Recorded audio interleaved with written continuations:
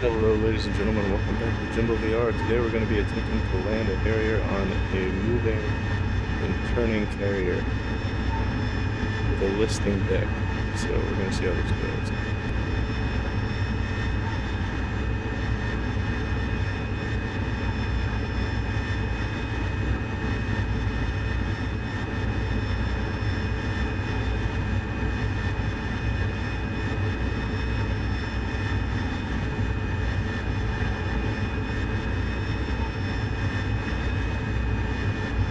Alright, now it's turning to the right again.